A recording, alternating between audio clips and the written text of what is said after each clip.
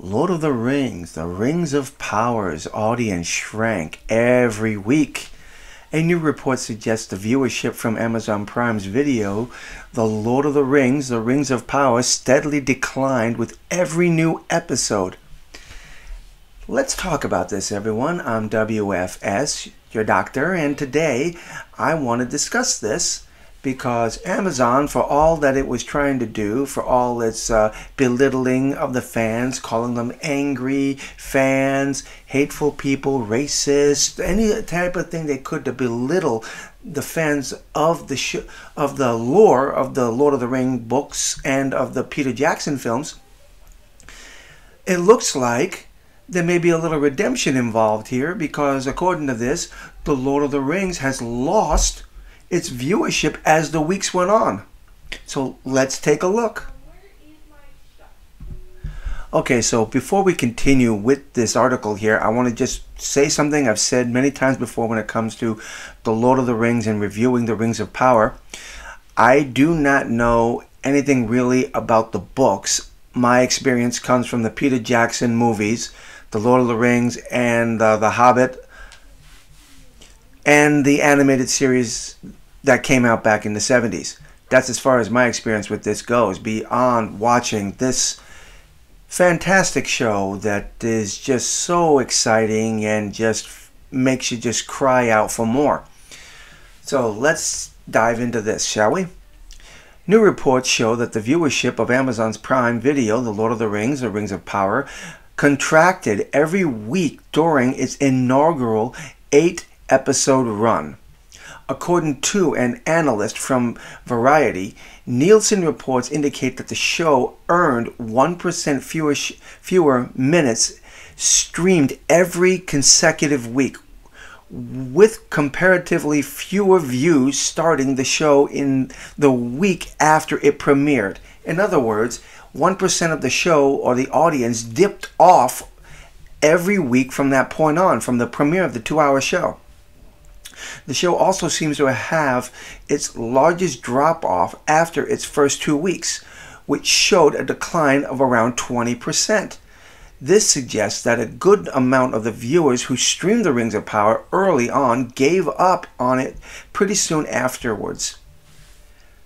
Well, that is kind of understandable. The show really was nothing more than a lot of slow dialogue with very little to practically no action at all. And when the action did start, it showed up around the seventh episode, wasn't long, and then very little after that on the, on the final episode of it was just slowly dragging on. While Nielsen's metrics only measured the US viewership connected to television, excluding viewers streaming on other types of devices, the visible download trend is notable in the trade analysts, which sees a problematic for the show's future growth. Yet, The Rings of Power is still making a victory of it of its impressive early viewership numbers. According to Amazon, the Lord of the Rings prequel series saw an impressive 25 million viewers in the first 24 hours after it premiered. These numbers made its Prime Video most watched series premiere to date. Now, I know a lot of people are arguing out there that they really weren't recording it. There was no way for us to actually monitor if this was true or not with the exception of taking Prime's word for it. Now, this one right here is definitely interesting. However, the show also saw a spike in demand following the October 14 series finale.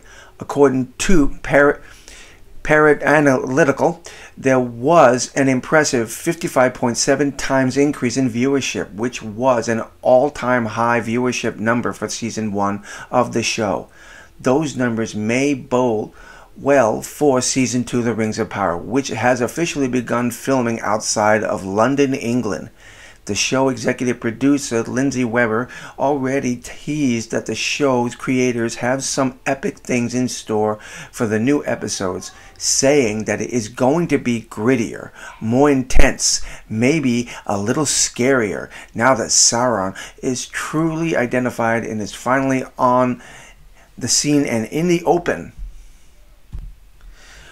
Weber wasn't the only one who made big promises for season two of The Rings of Power. Co-showrunner Patrick McKay said that the new, the new season will be bigger and better on every level by an order of magnitude.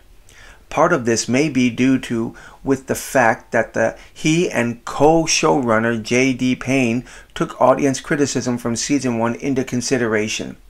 The cake was kind of baked before the audience response came in, he said.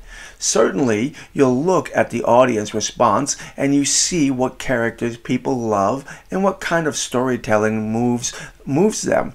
And explaining that while he and McKay aren't over correcting for any of it, they are listening to the people's response.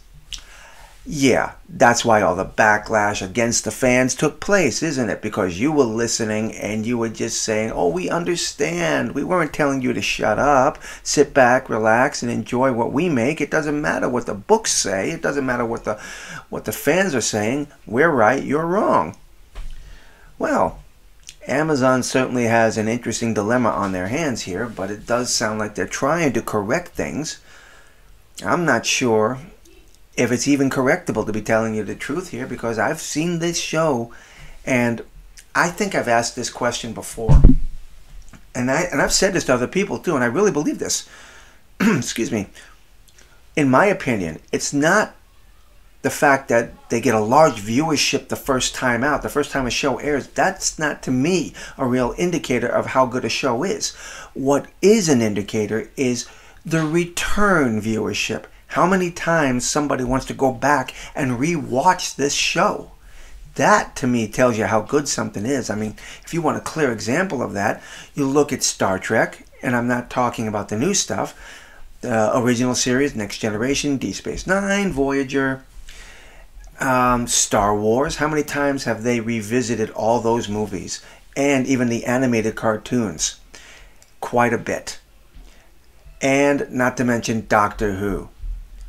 Doctor Who up until I believe the 13th Doctor was doing quite well.